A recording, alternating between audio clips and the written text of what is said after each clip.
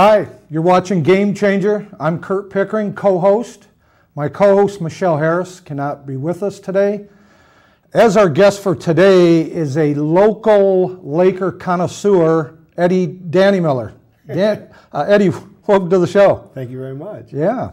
Um, today's show is going to be about hoops de jour.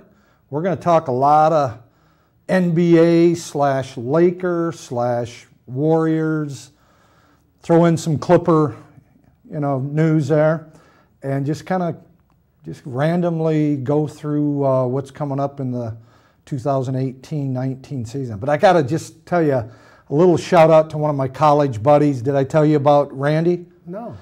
Man, he's sitting home at night watching the sports. He's got the newspaper. All of a sudden, bam! He gets hit side the head. His wife hit him with a frying pan. He goes, why did you do that? She goes, I was going through your pants pocket and there's a piece of paper with the name Priscilla on it. And he goes, Honey, I, that, I was at the horse races and that's a horse I bet on. She goes, Oh, sweetie, I'm sorry. I, I'm so sorry I did that. Two nights later, he's watching sports, got the newspaper. Bam! It was a twice the size frying pan. She hammered him again. I mean, he barely kept from falling in, you know, on the floor. He goes, "Why did you do that?" She says, "Your horse called." Poor Randy. so uh, now on to basketball. uh, you know, something I think we've seen in the last couple years NBA basketball used to take two, three months off during the summer. And then all of a sudden, Las Vegas starts offering the Summer League. Now, there's always been the Summer League. I worked in it uh, back in the 80s and 90s at Loyola Marymount University down in LA. And then Warren LeGarie moved it to Las Vegas. That, that thing's just exploded. You know, it's sellouts. They're all on TV. This year was the first time 30 teams, all the NBA teams played in it. But besides the Summer Pro League, social media has just, it's a frenzy. Tell me your thoughts on that. There's no let up on, on following the game. Yeah, it's, it's a 12 month thing now between the draft and they even cover uh, workouts. There's a lot of websites that even I go to. I kind of try to stay away from it because I can spend two, three hours looking at prospects, especially when the Lakers were drafting in the lottery. I kind of was um, learning about different players. But yeah, you can spend endless time researching stuff and looking up stuff because someone is writing about what exactly what you're talking about. Well, and you go online and there's so many writers. I mean, I think some are wannabes. Some of their opinions are way out in left field, unrealistic. You know, they're giving their two cents on who the Lakers or the Pacers or someone should trade for, and it's so unrealistic. Right, and you also hear GMs talk a lot about do you talk to the player and their agent and say, hey, look, this rumor is not true? And then finally, the, the majority of them just don't even comment on it because it's not worth it because there's so much activity, like you said, that you just, the players just kind of are, are learning to to get immune to it now. Well, I think a couple weeks ago, Magic, man, he, it was like he got called on the carpet and somewhat of a defensive mode where he said, hey, if I don't, you know, bring in great free agents, uh, I'll leave. You know, Jeanie Buss does not have to uh, fire me. I will resign. Of course, what happened?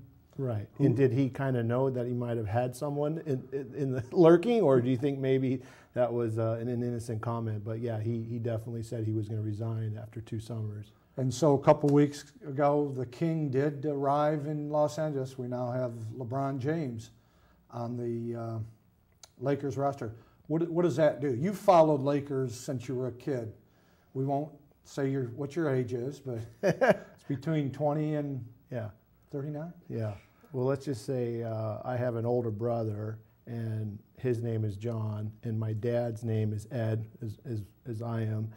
And he named me Eddie as a second kid because the day that I was born, it was after Elgin Baylor. My mom said no. He was saying Elgin, no, and she won, and Yeah. so they defaulted to my dad's name. So yes, to, to answer your question, I have been a rabid Lakers fan for my whole life. Um, but what you mentioned about LeBron coming to LA, it's still kind of hard to fathom that he actually is here. He's played 15 seasons, and so I think a lot of people make the mistake of thinking that he's in the twilight of his career. But I do think, as a Laker fan, that there's going to be quite a few good years as long as you know nothing drastic happens. He doesn't have a, a bad injury. I still think he's got many years uh, at, at peak level. With the roster the Lakers now have, do you foresee him being that point forward like he was with Cleveland the past four years, where, man, he's dominating the ball and guys have to be ready, whether they're veterans, rookies. Man, when he kicks it to you and the shot clock's going down, he expects you to nail it. There's some pressure to play with him, no different than Kobe. There was always pressure on, on the teammates.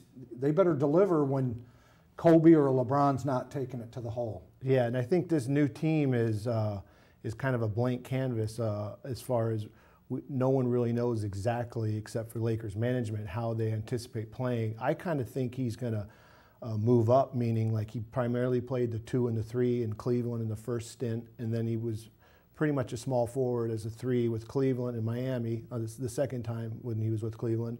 But I think he's actually going to play a lot of power forward. And I think him and Kuzma will share the four and the five. And I think that, that that's kind of they call that death lineup in Golden State. So whether they really go small and really push it, I do think that leads into Lonzo Ball's um, maximum efficiency is when he gets it and just really pushes it. So maybe LeBron might relinquish some of that ball handling duties, and this is just me speculating. And maybe he can run the floor like Karl Malone, and actually they can kind of alternate to where he, Lonzo has the ball primarily. And the fact that they let Brook Lopez go, um, I, I got a feeling Magic's wanting to see Showtime back on on the uh, hardwood floor for the Lakers again.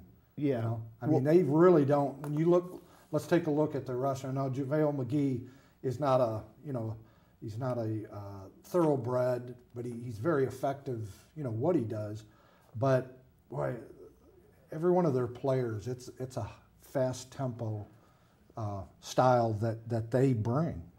Yeah, if you if you think they retained KCP Caldwell Pope, he really can get after running to the three point line, and I think they're going to really.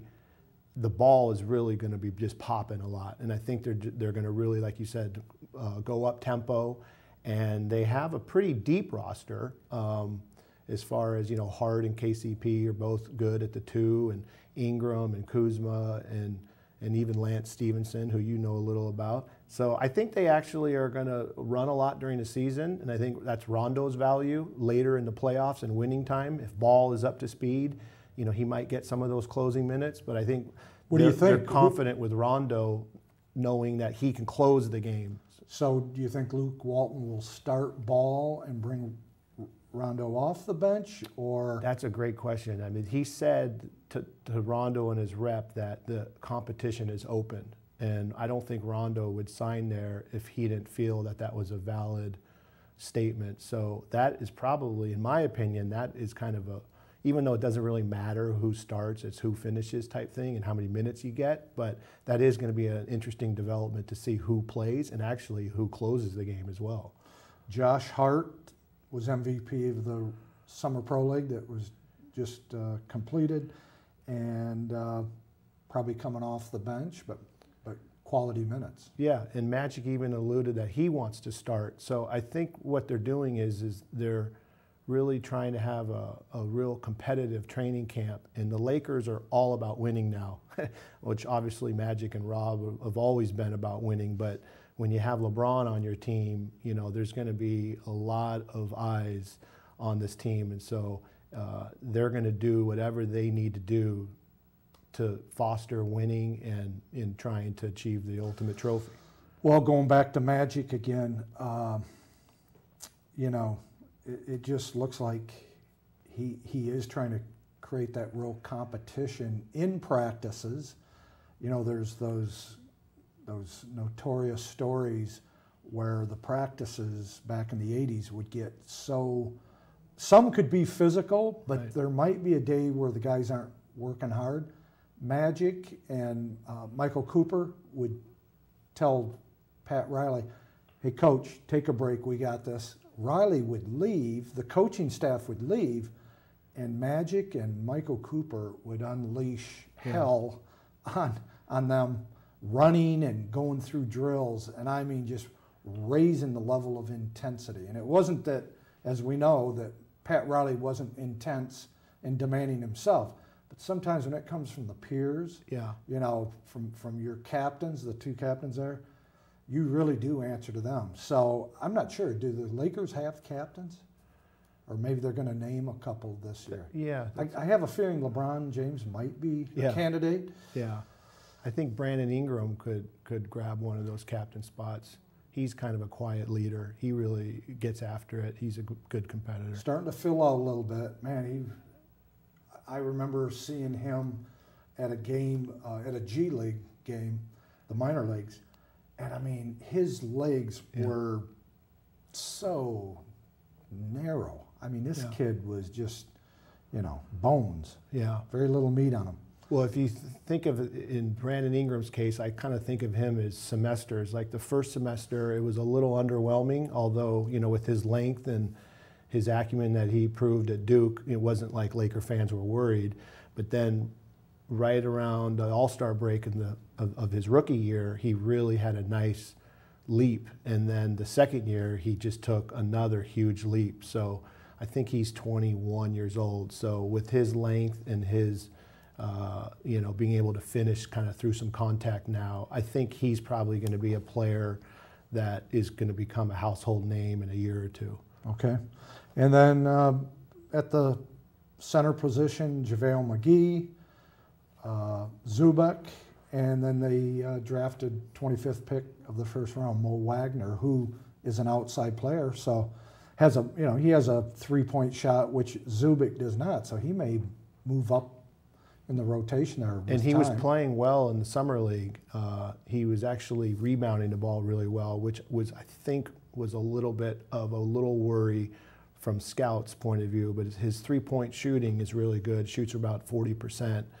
Uh, and he has kind of an energy that Rob Pelinka talks about a lot. They look for, uh, they were really impressed with Kuzma's interview and Josh Hart being like a winner from four-year player. That I think Wagner kind of embodies uh, the, the the spirit of play hard, have fun, but really be competitive. And so I think they've done a good job. Okay. Hey, uh, moving on to another issue. The game has really changed tremendously. It used to be inside out. You know, you post guys up. If they got double team, you kick it back out or swing it to uh, the shooter. Now, you know, you see Golden State Warriors, they're five out, no post up player. Right, right. Eventually they might. They might, you know, flash a guy or run a backdoor cut. But the game has changed dramatically back to 2015 in the playoffs when the Warriors decided to go small ball and it Mhm. worked because of the great shooters and movement without the ball. Yeah. Well, I think D'Antoni kind of started it with the Suns in the seven seconds or less era, where the year that Steve Nash left Dallas, they got him as a free agent, and he ended up uh, just playing the five best players, or at least that's what he responded when they asked him, because that was Nash, Quentin Richardson, Joe Johnson, Marion, and Stoudemire. So Johnson, Marion, Stoudemire all moved up a position. They were the two, three, four, and then they became the three, four, and five. So uh, I think it started there, and with the no hand checking rule, you know, the game is not as physical. And I think all the analytical guys realized that three points versus two is 50% more. And so if you can chuck 30 of them and, and make 13 or 14, it's like a free four or five points, if I did my math correct. But so yeah, it's and it doesn't really seem like you know if you think back on Rick Smits and Ewing and Mutombo and all those guys, I don't, where are all they right now? They're all retired. yeah, I, I recall it was uh, November 2015, sitting at Joe's Cafe with Bill Bertka, the longtime Laker Oh, yeah. guru that lives here in Santa Barbara. And that evening, this was the, the new season, a couple weeks into it, uh, Golden State versus San Antonio Spurs. And so it was kind of old school versus new school. And Bill said, if the Warriors win this game and by a, a pretty large amount, uh, he says the game will forever be changed. Yeah. And that's exactly what happened that night because the Warriors had just won a championship Right. playing small ball against Cleveland. But many people thought, is that a fluke? Can you really win with a smaller lineup? And San Antonio really represented, you know, the style of and a slower pace game, uh, inside out. You know, they had inside players, and Golden State com- clearly whipped their behind, and now it's copycat ball. Many and most of the NBA rosters are now going with that style. You know, you Yeah. don't see the big postmen, but then what does Golden State do? They pick up DeMarcus Cousins. DeMarcus Cousins. What do you think on that move? Well, it's hard to say no if you get them with, for the mid-level, which they're in the luxury tax. So it was actually even less than the mid-level. It's their mid-level, which is the luxury tax mid-level, which I believe is uh, 5.3 million. So um, they have the luxury of not playing him because he's coming off an Achilles heel, you know, tear. So maybe he comes back in Christmas time or January. They could even wait till February. So they, they can win a, a bunch of games because they obviously are the Warriors and then hopefully for their sake they integrate him and, and then they now would have a, a big center. The only thing i would question is if you play the first half of the season without him and then you implement him which is a big guy as far as you know touches and volume and usage rate you know i'm sure kerr and bob myers will know how to do it seamlessly but that, there might be a little bit of a transition on changing the way they play but i think they're totally open for that and obviously they did because they signed him Well, he now likes to play outside, face the basket. So, and he's a decent passer, especially at what is he, 6'11", 7 foot. yeah So he, uh, he he can throw over the defense. He'll shoot the, the three occasionally, but he's probably just going to utilize this season to prove yeah that he's uh, recovered from the injury and wait for that Brinks truck to show up and really get paid you know, Right. on his next contract. right Uh, Clippers, a little bit about the Clippers. They're they're still kind of, you know, where are they headed? You know, they, it it looked great when they had Chris Paul, Blake Griffin, DeAndre Jordan. They can, you know, seemed like each year they shot themselves in the foot in the playoffs. yeah And uh and last year they started to dismantle, you know, that unit. Yeah, well, you know, they had about a five-year window, which, you know, if you're looking back on it, that's almost kind of what you would want from a from a management point of view. But uh, just like you said, just a couple series uh, just didn't go their their way, and so I think that window closed. Obviously, Blake moved on, and Paul went to Houston, and Jordan just signed with the Dallas Mavericks. Uh, so I think Jerry West is actually, if you look at his draft choices and the way he's kind of not having people sign a long-term contracts, you know, he probably feels very confident in, in a year or two that they'll be right back, you know, to where they were. Well, LA is a desirable location, and good or bad, it just seems that, let's say, the top 25 players in the league, they tend to gravitate towards warmer climate, franchises that traditionally have won, and third, they, they like joining up with their buddies, don't they? Yeah, the players have a lot of control, and that's probably something that's hard for some people to realize that, you know, back in the 80s and 90s, players were under contracts for three, four, five, six, seven years. I remember Dr. Buss would give Magic an extension for a million dollars, you know, like eight years out. So uh, the way the collective bargaining agreement uh, has changed things, and, and there's some different things they've done, but players now, to maximize their earning potential, become free agents. And so it's tough for the general managers to plan because everything's going good and then a year or two X player, you know, is a free agent. And so they don't have the continuity and the length of the contracts that they did in previous years. And so that's kind of challenging. But it seems like fans really like player movement, and there's a lot of talk and rumors and stuff like that. So that kind of keeps the ball spinning. Yeah. Did you bring your list? Western Division or I- Western Conference? I did. Okay, so, um, and we can, we can agree to disagree, and we're, it's just opinions, but, um, let's go with, in the Western Conference, our predictions for 2018-19. Um, You want me to go first? Sure. I'm going to take Golden State to to win the most games in the Western Conference. I'm going to go with them number one. Uh, Houston has lost a couple players, Ariza and Mbah a Moute, but I'm going to take them number two. Uh, this might be a stretch a little bit, but I'm, I'm going to go with the Lakers number three. And some even say they question whether the Lakers can make the playoffs, but I, I, I know what LeBron can do. You know, how he can just totally change your whole, to his teammates, the, the difference between winning, losing, or um, if, if you're uncertain as, as a teammate, he'll, he'll Yeah. very much ascertain for you, we are going to win this game. He'll will them Yeah. to play at, at, at the highest level possible. Uh, I'm going to take Oklahoma City fourth.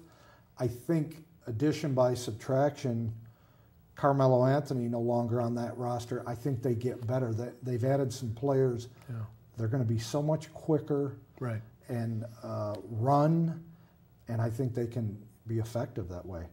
Uh, number five, I'll go with uh, New Orleans Pelicans, despite losing Rondo. Cousins no longer with them. Um, very impressed with Utah, what they do. They're so consistent. They've got that great rookie that uh, really uh, impressed us in the playoffs. I'll go with Minnesota number seven, Denver number eight, which means there's some great teams. Well, I say great, some some really talented teams that will not make the playoffs. What's your top eight?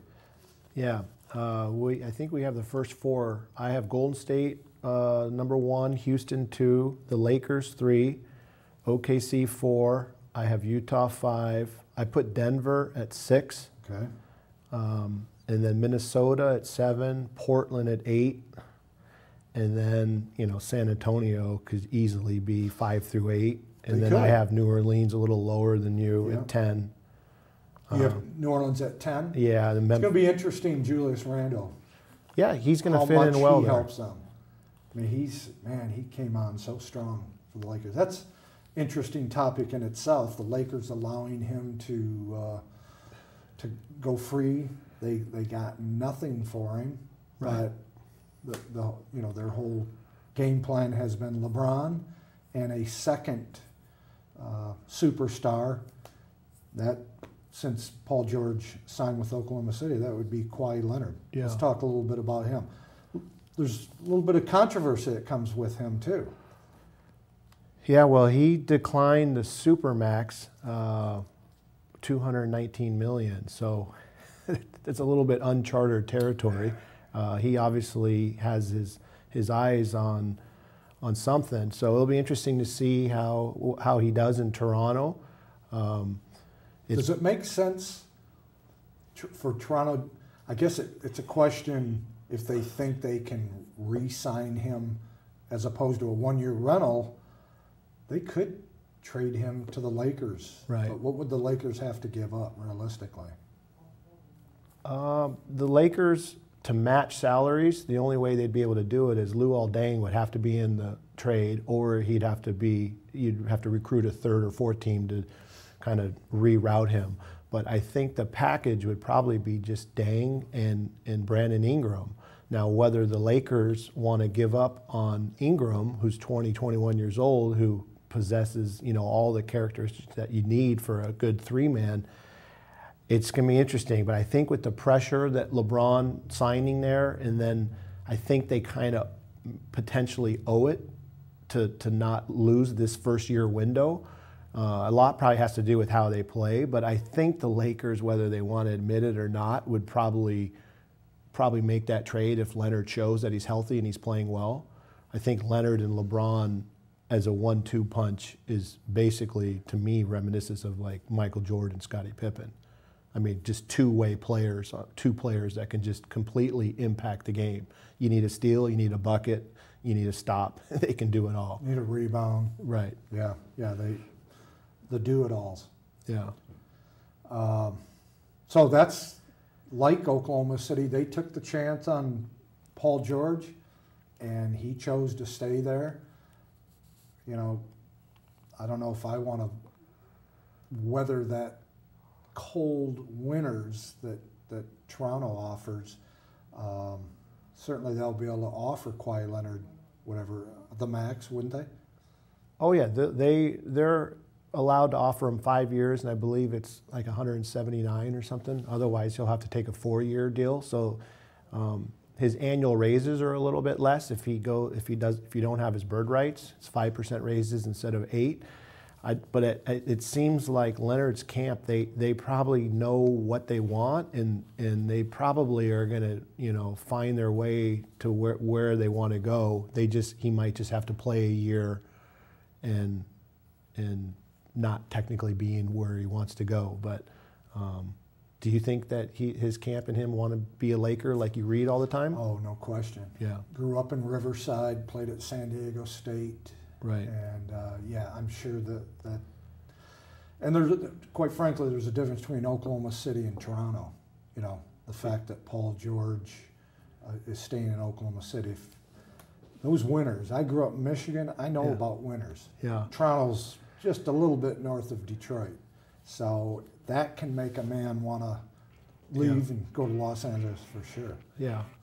And I think he's getting influenced uh, um, by his uncle, who has a big impact in his life. Um, and I think they were a little bit disappointed with the offer they got from the shoe company. So I think they want a little bit more notoriety. So it'll be interesting to see how it pans out. Eddie, there's so much we could talk about. We covered a little bit of the Western Conference, didn't touch on the Eastern, the players on, on that side of uh, our nation.